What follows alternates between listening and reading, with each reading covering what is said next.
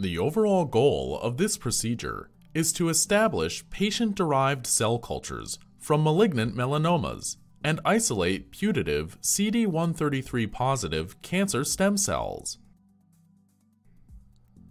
This is accomplished by first preparing primary melanoma single cells from a tumor tissue.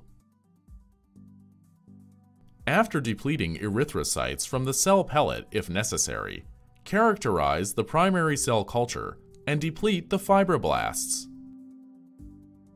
The final step is to perform magnetic cell sorting of the CD133 positive and CD133 negative melanoma cells. Ultimately, this optimized MACS procedure is an excellent method to obtain highly enriched and viable populations of CD133 positive and CD133 negative cells. We first used the technique to validate in silico data in personalized medicine, where we try to predict drug response of cancer patients, and for that, no commercially available cell line can be used.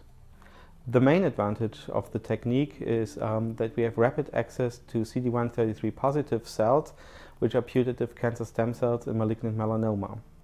The technique will be presented by Cathrin Davies, a lab technician from my laboratory.